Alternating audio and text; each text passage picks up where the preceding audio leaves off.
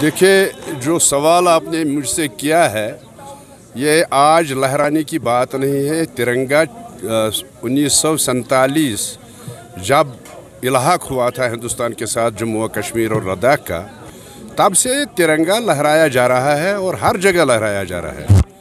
ये कोई नई बात आज नहीं है, लेकिन इसमें एक नई बात यह है कि घर घर लहराया जाएगा बेसिकली बीजेपी वाले जो हैं, वो यहाँ कन्फ्यूज़न क्रिएट करना चाहते हैं। और वो ये चाहते हैं कि यहाँ पर जो हालात इस वक्त ख़राब है, ये कभी ठीक ना हो जाए। इसलिए वो ऐसी बातें करते हैं, कभी रेडिकलाइजेशन की बात होती है, कभी जन, तिरंगा लहराने की बात होती है। नहीं तो 15 अगस्त और 26 जनवरी को तो हर जगह लहराया जाता है। हर डिस्ट्रिक्ट हेड क्वार्टर पर, हर तहसील हेड क्वार्टर पर हर स्टेडियम में लहराया जा रहा है तो इसमें घर घर लहराने की बात कहाँ से आ गई? क्यों लहराया जाएगा घर मुझे नहीं लगता, या तो उनको हम हम लोगों पर शक है, जम्मू कश्मीर के लोगों पर शक है। या तो ये बात है कि वो यहाँ लोगों की आवाज़ को दबाना चाहते हैं।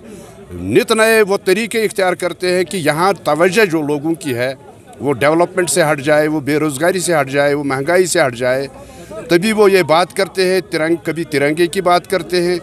कभी हिंदू मुस्लिम की बात करते हैं, कभी ईसाई की बात करते हैं, मुझे लगता है कि ये अच्छी बात नहीं है।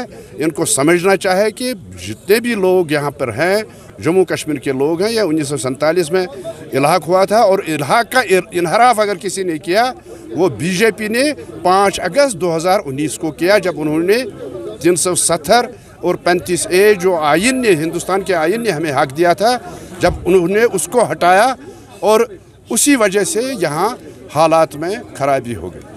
आपका देखिए मैं आपको एक बात बताऊँगा। बदकस्मती की बात है कि 5 अगस्त 2019 को जो हुआ तीन सौ सत्तर हटाया पैंतीस ए हटाया उतना ही नहीं बल्कि वो हद से भी गुजर गए। उन्होंने इस रियासत को दो हिस्सों में बांट दिया दो यूनियन टेरिटरीज बनाई लद्दाख को अलग बनाया यूनियन टेरिटरी और जम्मू कश्मीर को अलग यूनियन टेरिटरी बनाया।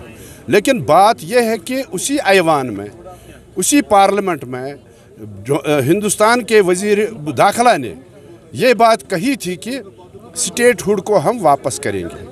लेकिन आज तक तीन साल होने को हो गए, कोई स्टेट हुड वापस नहीं आया। और मैं इसके साथ इतफाक़ नहीं करता हूँ कि स्टेट हुड वापस आए।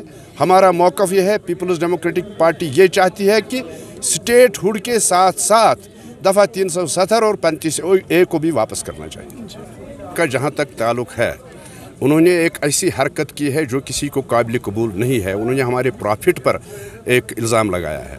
उन्होंने उनके हक में एक गलत बात कही है। और मुझे लगता है कि इस जो जमहूरी मुल्क इसको कहते हैं, हिंदुस्तान को कहते हैं कि ये बड़ा जमहूरी मुल्क है। इस मुल्क में अगर कोई गैर कानूनी काम करता है गैर कानूनी तरीके से बात करता है तो उसको सज़ा मिलती है। लेकिन नूपुर शर्मा को क्यों बचाया जा रहा है? आज हिंदुस्तान में जो हालात हो रहे हैं जिनको कत्ल कत्ल गारत हो रहा है वो सिर्फ़ उसके एक बयान से हो रहा है।